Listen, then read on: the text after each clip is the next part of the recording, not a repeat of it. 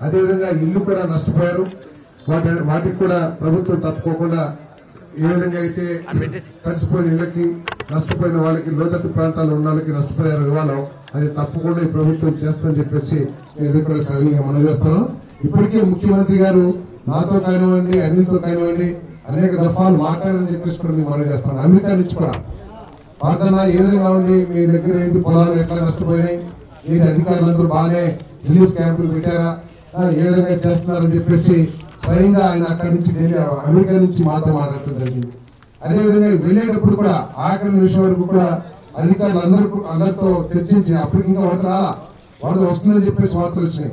అప్పుడు కూడా రైతులందరితో కూడా మన చర్చి మన అధికారులతో చర్చించి ఏ విధంగా చర్యలు తీసుకోవాలని చెప్పేసి సూచనలు కూడా చేసి చేసినారని చెప్పేసి మేము మనం చేస్తాను మన గోదావరి వరదల సమయంలో కానీ ఇప్పుడు కృష్ణా వరదల సమయంలో ఆయన ముందుగా నిర్ణయించుకున్న ప్రకారం విదేశీ పర్యటనలో ఉన్న ఎప్పటికప్పుడు మంత్రులతో శాసనసభ్యులతో మాట్లాడుతూ ఉన్నారు ముఖ్యమంత్రి గారు. అధికారులతో మాట్లాడుతున్నారు. అక్కడి నుంచి స్పష్టమైన ఆదేశాలు ఇస్తున్నారు. ఇన్పుట్ సబ్సిడీ అదేవిధంగా మళ్ళీ తక్షణమే పంటలు వేసుకోవడానికి ఉచితంగా విత్తనాలు ఇచ్చే కార్యక్రమాన్ని కూడా ఇప్పుడే ప్రభుత్వం నిర్ణయించింది. ముఖ్యమంత్రి వర్యులు జగన్మోహన్ రెడ్డి గారు తిరిగి విదేశానికి వచ్చిన వెంటనే ఆయన దృష్టికి ఇన్పుట్ సబ్సిడీ వ్యవహారాలు కూడా తీసుకెళ్ళి అదనంగా సాయం అందించేందుకు ప్రయత్నం చేయాలని మంత్రులు శాసనసభ్యులు నిన్న మేము మాట్లాడుకున్నాం.